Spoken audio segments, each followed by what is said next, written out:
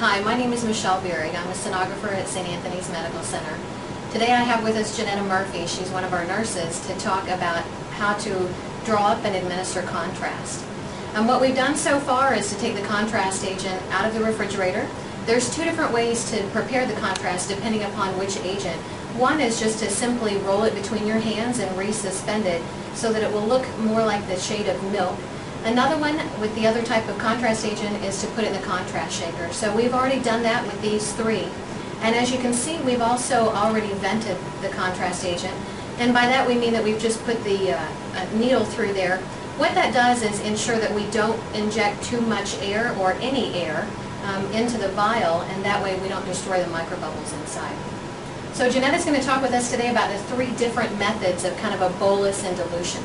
So the first way um, that you can administer the contrast is to just, um, through an IV bolus, you just simply pull it up, all of the contents out of the, the vial, and um, administer at 0.2 to 0.5 um, cc's, and then give a slow flush. So this is one of the more common types with just a straight bolus. Um, and when we administer it, we administer it slowly. Um, this ensures us that we can see the cavity opacification. As we administer it slowly, that will help prevent any attenuation that we would see. So one of the other ways that we can um, also administer is a one-to-one, -one, and we use this pretty often here. We do. This is actually our, our uh, preference, if you will. It's a, about one and a half cc's of contrast and one and a half cc's of saline. The benefit of this is it helps to reduce the amount of attenuation that we see on the picture, but still allows us to have really nice cavity opacification and endocardial border definition.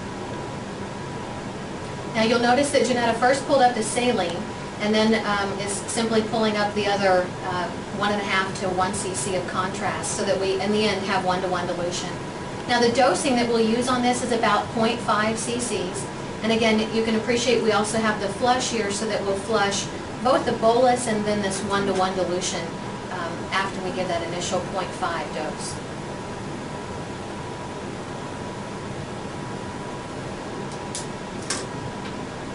And then um, the last way is just simply um, one vial with 10 cc's of normal saline.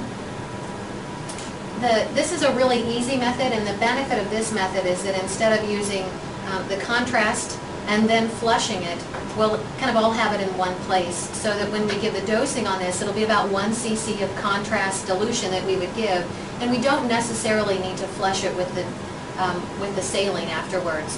Um, it does still give us good cavity opacification, and just depending upon the methods of administration, um, things like ejection fraction and heart rate, um, as you have a lower ejection fraction, you'll have to flush a little bit faster and or, and or maybe give a little bit more. And that's also the case in patients who are bradycardic. So if they have a low heart rate, um, we might go ahead and use a little bit more um, and inject a little bit faster. That will help make sure that we get that good cavity opacification all the way up to the apex.